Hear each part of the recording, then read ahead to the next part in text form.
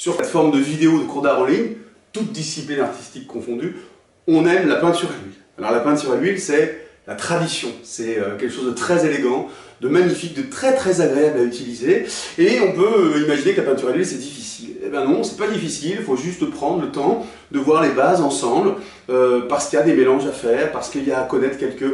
compatibilités ou incompatibilités entre les produits, parce que c'est peut-être un peu plus difficile de travailler avec de l'huile de lin et de la térébenthine, qu'avec de la flotte, voilà, mais c'est pas très très compliqué. Surtout je me suis entouré de deux grands artistes, euh, Amandine Gilles, Amandine Gilles qui maîtrise parfaitement la technique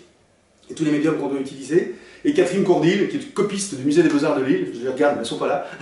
euh, et, qui va nous permettre aussi de, retourner à la source de tous les mélanges et de tous les médiums et de tous les vernis en pouvant vous proposer de les fabriquer vous-même dans des vidéos très très courtes euh, et surtout vous faire profiter de toute son expérience. Alors en mélangeant, en mélangeant ces, voilà, ces, différentes approches de la peinture à l'huile et puis en apportant un petit peu de dynamisme, de pêche pour pas tomber dans des, dans cours euh, un peu euh, complet et un peu fatigant et peut-être même inaccessible, ben, on a réussi à créer une discipline vraiment dynamique, vraiment sympa, avec toutes les étapes de la peinture à l'huile qui sont, qui sont abordées, du début, le matériel, le geste, les mélanges, et puis en avançant au fur et à mesure avec plein plein d'applications et plein de plats à pas de plus en plus complexes, en fonction de votre niveau, pour que vous puissiez vous rattacher à ce, à ce, à ce, grand, à ce grand chemin que nous parcourons ensemble dans le domaine de la peinture à l'huile.